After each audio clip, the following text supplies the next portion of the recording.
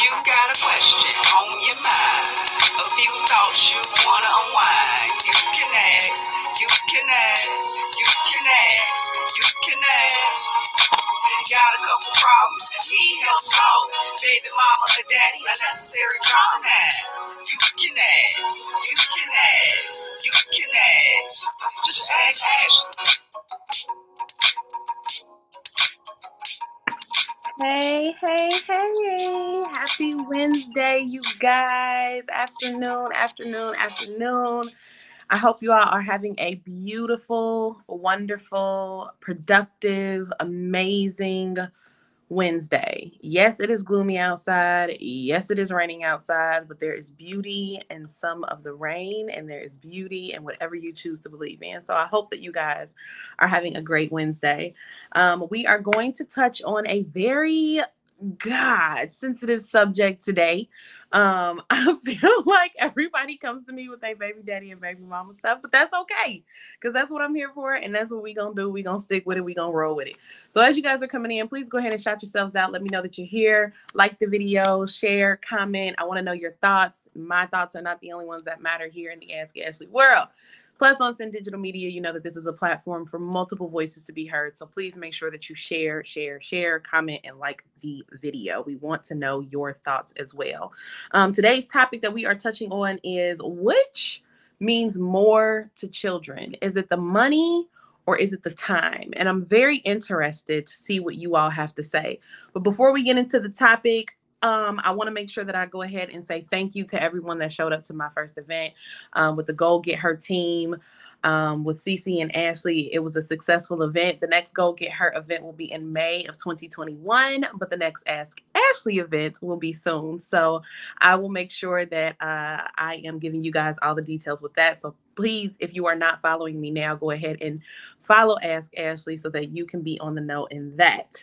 Um, of course, as you guys are listening to today's email, please go ahead and call 513 873 7134 so you can go ahead and give me your input and your thoughts live on video if you'd like or, of course, you can just go ahead and comment and let us know how you're feeling. Jerome, hello. Happy, happy Wednesday. Good afternoon to you. Nicole Taylor, hey, beautiful. How are you? I hope you're having a beautiful, beautiful beautiful Wednesday. Um, okay, so we're just to go ahead and jump right into this thing because that's what I said. It. That's what we're to do. okay, so pace yourselves a lot of us have gone through this, or we know people that have. Good morning, Ash. Here's a situation that I am sure a lot of your viewers have had to deal with or heard of, but here it goes. I'm a father of two boys whose mom gives me hell. She has me on child support, but is constantly asking me for money. And when I can't, not won't, but can't help with anything monetarily, she calls me a bad father to my boys, tells them that I do not love them, and that I only get them on the weekends because I don't like them. Wow. Uh, she's a horrible woman. I work a lot and I can't drop what I'm doing every day to do what she wants me to do, but I love my boys and I do what I can to be there for them. My question is what do you do or what should a man do when he is dealing with a difficult mom? I have already been to court, which is why I get them anyway, but I don't want them to ever feel like I do not love them. She only cares about the money, and I am not the most wealthy man in the world, obviously, but I still need to provide for myself, and she does not care about that. Can you do a show on this, please? Okay. So I don't feel like this is um well I'm going to give you advice obviously, but I feel like this is such a broad spectrum of a conversation to have, right? So that's why I wanted to talk about what is more important to children is it their money or is it the money that you're providing to the children or is it the time? Um, so please go ahead and give me your thoughts. I'm going to touch on a couple things just based off of my own experiences from when I was a child, but also the experiences that I witnessed with my own children. So, I think that what is needed and wanted and desired from children change as children change. As they grow older you know what i mean and their needs are different i think that all that changes. Now as when they're younger children don't really have a concept of money money money money money. So your time is invaluable to them spending time with them, movie time, quality time, video game time, uh, uh, uh, just time having conversation and laughing, and you know whether you're whether you are spending money on them or not, you know what I mean. Um, having lunch dates with your kids, or I used to like go up to my kids' school and pop up with just some lunch. Them, you know, let us do that now. But I used to go up to their my kids' school and just have lunch with them. Just bring them lunch. They would have two different lunch bells, and I would sit there and have lunch with my daughter and then I'd wait for my son's lunch and then I would go ahead and have lunch with him and some of his friends and then I'd go ahead and go back to work or whatever it was that I had to do at that time. So I feel like people need to understand that it's never an either or it is a what do they need at this time in their lives now fast forward to i have 15 year olds and 14 year old children and they are okay with the time. It's not that they don't appreciate the the time, but now they have so much focus on what it is in their own lives with their friends because they're teenagers, they're in high school, they're discovering themselves, who they are, what their purpose is, what they're meant to be, who they want to be. So my money is a little bit more important now. They have more needs, uh not even more needs. They have more wants, right? Uh this video game, that video game, this shoe, that shoe, uh, uh, take me and my friends here. Can we go there? Can I go to the mall here? Can I go do this? So it's like as they have grown and shifted um, their focus as children to the things that children pay attention to, so has their need and want from me as a parent. So to answer the original question, um, for this particular incident, I think it's important to understand who your children are in this time and in this space in their lives. And that's going to go ahead and dict- dictate whether or not it's more time that they need or is it more of your financial support that it is that they need. I do think that it is very important that you provide both as often as you can. And I say as often as you can. If you cannot, I need a lot of women to stop making it seem like unless a man is handing you over a check, he is not a good father, because that is not the case. That's really not the case. Now, I also need men to stop creating hella babies that they can't take care of. I do need that. Okay. That is also a thing. But it takes two to create children. And I think that this goes back to a conversation that we've all had before when we touch on knowing who you are creating life with. Not just because they look good, not just because the Uchi Coochie is great, but who are you creating life with? The type of person, what is their family history like? What are their values like? What are the important things to them? What are the things that they're going to be teaching your children? Because the reality is, some of us are non custodial parents, not just fathers, but mothers too. Um, Jerome says back in the day it was time. Today it's money because everything they want costs so much. And I think again, I think it depends on where your child is in their life. A four-year-old does not give a crap about the money. Now, yes, they want to see that new toy, or yes, they want to go ahead and you know what I'm saying, uh uh uh get the new, like, I don't know, um, y'all give me a give me a give me a give me a cartoon name. Back in the day for me it was Wow Wow Wubbzy like you know what i'm saying? As a four year old they don't care about the money. They want to cuddle. They want to see you. They want to they want to spend time. But as a 12 13 14 15 year old they don't really necessarily want to spend all that time they want new shoes they want new things they want this they want that so it really just depends about where your kids are in their lives um so something else was touched on in this in this email and this is another thing that really bothers me. I don't care. Now, let me be very clear because we all have heard the Ask Ashlee story. Okay. So y'all know where me and my children's father are, right? Um, now I will say that I pray that one day we get a little bit better, which I know is a little bit of a turn twister for me, but I do pray that things get better um, one day. But you know, I leave that up to God. But those who have heard these stories of me and have these conversations know a lot about what I've went through as a single mom. I do think that it is very important for women not to continuously badmouth, not even women, for parents to continuously badmouth the other parent, right? Now, you say this and you say, well, ask Ashlee, you just talked shit about your baby daddy a couple times and blah, blah, blah. This is true. Okay? This is true keep in mind, Ask Ashlee was not created until my children were a little old enough to understand the type of father that they had. Right. And so you have to understand that it is not your job to badmouth the other parent. It is not your job to fill your child's head with all of these negative thoughts about how you feel about their their dad or their mom or how this person is a mess or how this person is a mess or you know what I mean, the drama that they bring cuz because the reality is your children will see that the older that they get, right? Even if you have a child who is um, constantly being told by one parent that the other parent is not good enough, eventually it will start to click that this parent is wrong. So you just kind of have to wait that out, unfortunately, because it's almost like there's nothing you can do. Let's say we'll we'll we'll go ahead for instance. Let's say we've got a mother who works a lot, a father who doesn't work as much. So the father has more time to provide, while the mom has more money to give. Okay.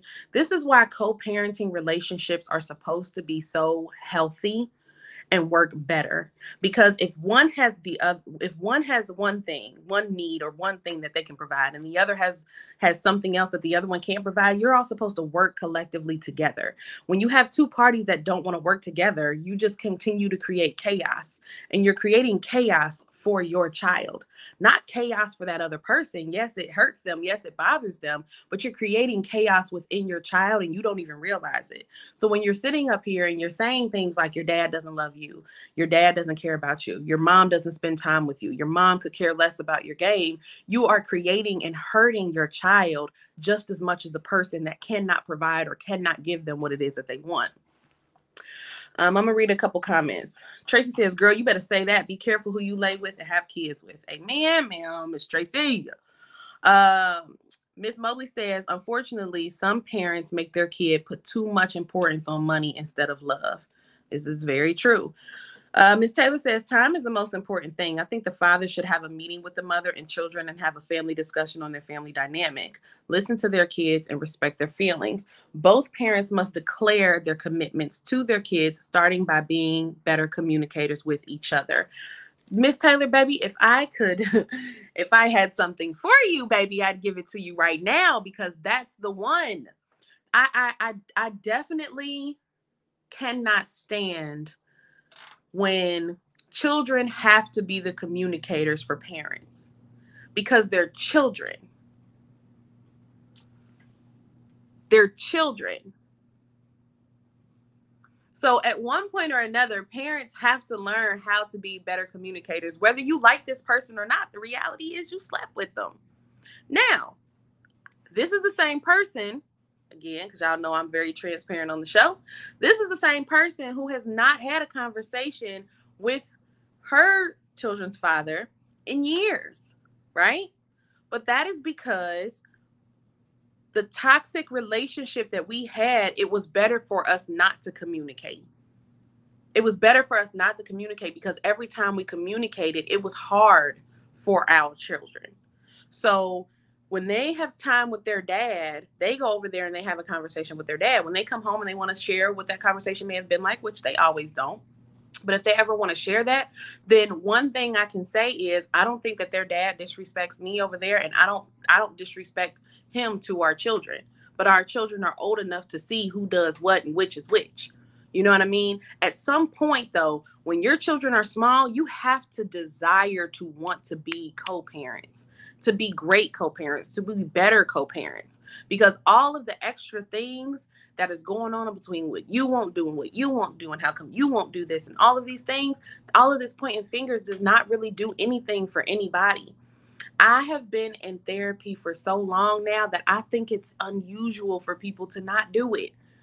Like these kids are going through so much turmoil, trying to discover who it is that they are, trying to deal with the peer pressures of school, trying to deal with the peer pressures of being themselves, and also having to worry about whether mom and dad are going to be fighting. Is dad going to see me? Is mom going to see me? Is mom going to be mad that I sided with dad? Is dad going to be mad that I sided with mom? And again, you are creating so much turmoil within your children.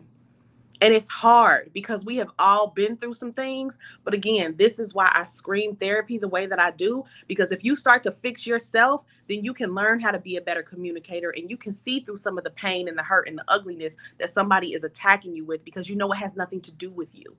But that is not until you get to a better place of fixing yourself, right? Okay, continuing on with the comments. Tracy says, Girl, that's the honest to God's truth on what you're speaking about. Taylor says, Preach, sis. Uh, Tracy says, "Little lady, I I so appreciate the truth you speak to the young people and us old fools out here in these streets." And and let me say this: like all of this is because I have been through this. I have been through this. I have been the baby mama that was angry. I have not angry because my children's father moved on. Hell, we both did that. I was angry because I felt like he wasn't doing what I wanted him to do when it came to our kids. It was that be- I was angry because it was like what I missed out on as a child, I felt like my children should not be missing out on. And I felt like history was repeating itself. So, one of the other things that I think is really important for co parents to realize is that you can't control the other parent.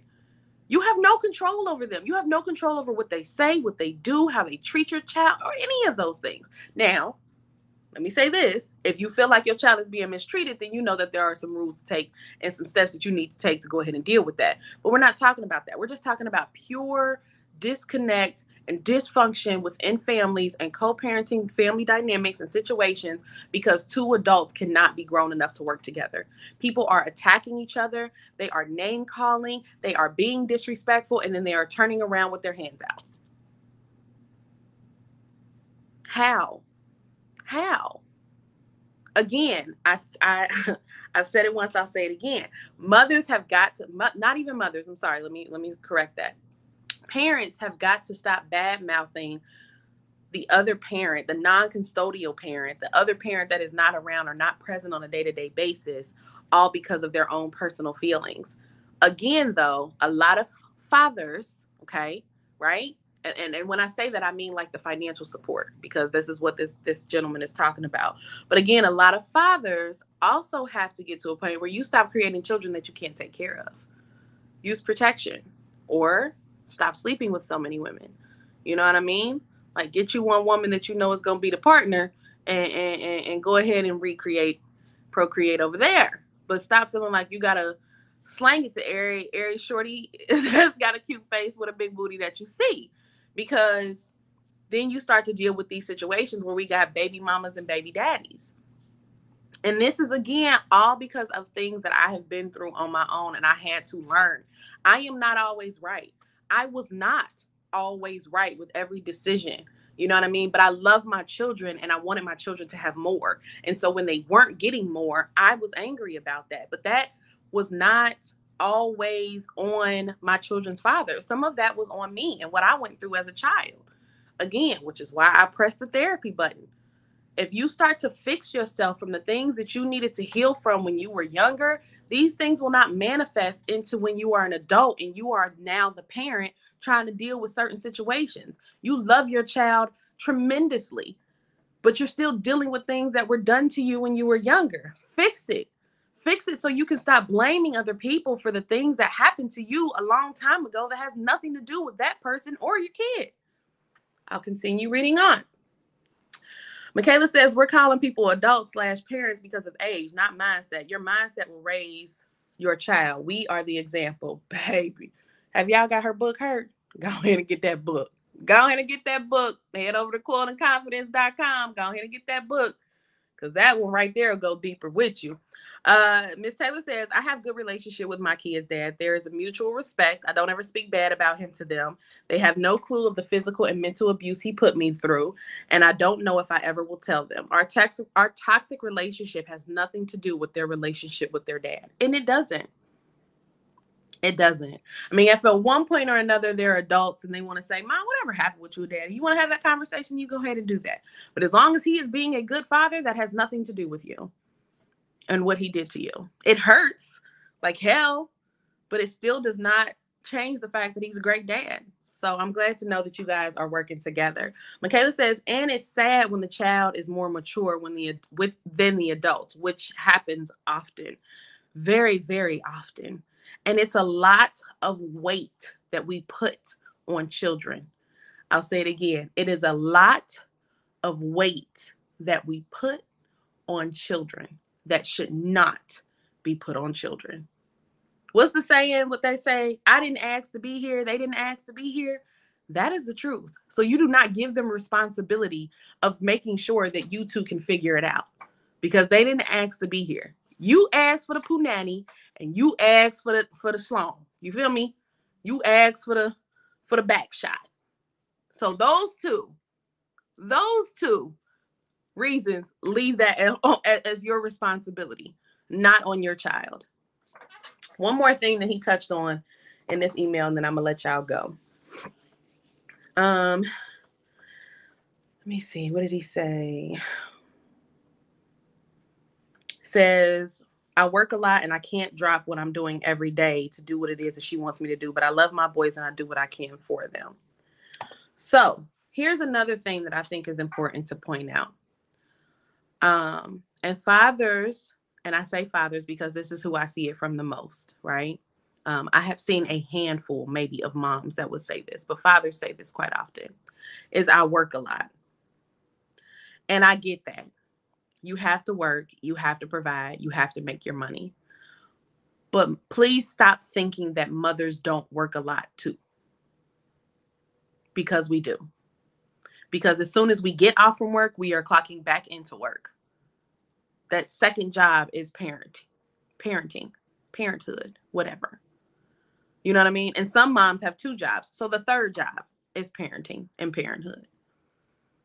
You have to stop getting, you have to get out of the habit of thinking that one carries more weight than the other. I understand as a mother, you work a lot, but please understand as a father that I work a lot too. And that means sometimes you have to carry a load because that's what co parenting is about. You cannot continue to use the excuse that you work a lot as if to say that I don't. And a lot of dads do that. Again, I use dads as the example because that's what I see the most of. I hear that the most when I'm having conversations with people. You know what I mean? But again, it does not negate the fact that everybody is working a lot. Everybody has a lot going on. We are in a serious transition within the world as a whole people are transitioning in their lives. Some people are still broken and trying to figure it out or not trying to figure it out, just want to stay broken. And you got some people who are broken who are trying to figure it out. You got some people who are healed who refuse to deal with certain things. You know what I'm saying? So you have to you have to have to have to get to a point where you are open to communicating and you are open to making sure that it is the best situation possible for your child. Your communication cannot look like a constant set of attacks personal attacks. That is not what is good for your child. And unless your child is being abused when they are away from their other parent or when they are with their other parent, unless that is something that is happening, then withholding your other parent and keeping, I'm sorry, then withholding your child from another parent or keeping your child from another parent is a form of psychological abuse. Debate with your mamas. It is a form of psychological abuse when you remove or you withhold your child from a parent all because you're upset. It is. And I say again, debate with your mamas. Don't debate with me on that. Debate with your mamas, not me. Okay? Um, KR says, preach lady. I'm just saying. And again, I've made some of these mistakes. Woman enough to admit that. Good friend of mine has me praying regularly. And I do pray for my children's father now. Y'all know two, three years ago, Sister Soldier was not praying over here for that one. Okay. Um, yes, ma'am. So in return, in regards to the original question, which is time or money more effective, both matter. That's the reality of it. Both matter. So you as a parent, whether together or not together, whether custodial or non-custodial, it is your job to make sure you provide both. If it means that you have to take off from work one day so that you can make sure you're the one that picks your child up from school, do that.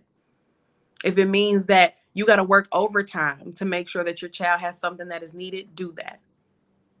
Do it. Don't continue to make excuses for it. Do it. Custodial or non custodial, baby mama or baby daddy, I don't care figure it out and do it. And to answer his other question, What should a man do when you're dealing with a difficult mother? Originally, I would have said, don't get this person pregnant because she's a difficult person, but you already are, she's already the mother. So what do you do? You make sure that you are active. You make sure that you are involved. You make sure that you can debunk every negative, nasty thing that she says or puts into your child's head. You debunk it. She says that you're not present, be present. She says that you're not active, be active. And not because she said it, not for her, but for your child. So that when she when your child hears these things, my mom said my dad is not active. Well, that don't make no sense because my dad, my dad was at my my game. He was at my school play. He was at this. He was at that. So I don't even understand what she's talking about because that don't even make no sense. That's what you do. You debunk her at every turn, or him, because you got some mamas out here that's off the chain. A couple of them.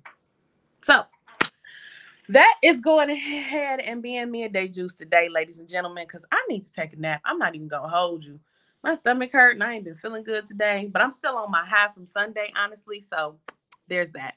Also, I did want to go ahead and put out here to the people though that I have a new email address. It is info at ask-ashlee.com. If you a want to book for Monday Night Juice because season six will be going ahead and start, um, we'll start filming for that soon. Or if you want to go ahead and have your event or something, um, new product or service that you're providing on Fox 19 for my Ask Ashlee segment, you can go ahead and email me there, or you can go ahead and email me at info ask at ask-ashlee.com for your Midday Juice uh, therapy session, if you want to call it that.